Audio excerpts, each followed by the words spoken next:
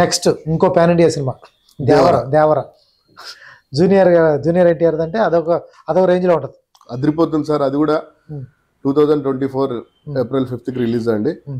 పెద్ద blockbuster hit అండి. Cinema. దాంట్లో ఎన్ని రోజులు చేశారు సార్?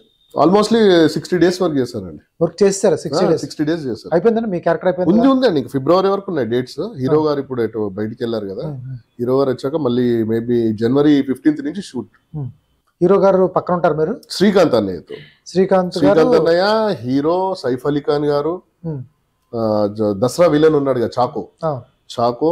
వీళ్ళంతా ఒక టీం అండి. వీళ్ళందరూ ఫ్రెండ్స్ ఉంటారు. సో వీళ్ళ దగ్గర జాహ్నవి కపూర్ ఎవరండి దాంట్లో? శ్రీకాంత్ అన్నయ్య శ్రీకాంత్ అన్నయ్య గారు కూతురు. ఆయన శ్రీకాంత్ గారితో పాటు మీరు ఉంటారు ఎట్లా ఉంటుంది సార్ యాక్షన్ సీక్వెన్స్? ఇప్పుడు వరకు చూసినవి. ఎందుకంటే ఇప్పుడు వరకు చూసినవి కాకుండా దీంట్లో భిన్నంగా దీంట్లో డిఫరెంట్ ఉంటుందండి. ఇది వేరే ప్రపంచం దేవర. దేవర అనేది వేరే ప్రపంచం మీరు చూడండి చూసాకనే మీరు చెప్పాలి. ఎన్టీఆర్ లుక్ కూడా చాలా డిఫరెంట్ అదిరిపోయిందండి.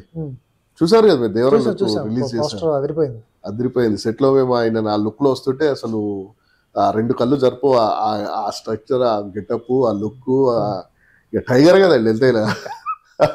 ఎట్లా ఉంటాడు సార్? ఎన్టీఆర్ లొకేషన్ ఎలా ఉంటాడు? ఫ్రీగా ఉంటాడా? ఆయన వర్క్ వర్క్ అంటే వర్క్ అండి.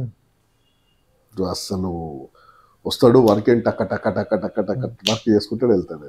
Single take artist single take అండి. ఎంత పది పేపర్లు ఉండని ఇరవై పేజీలు ఉండని. సింగిల్ టేక్లో చెప్పేస్తారు ఆ డాన్స్ గురించి అయితే మీకు తెలియంది లేదు. చింపి ఇలా పడేస్తాడు ఇలా.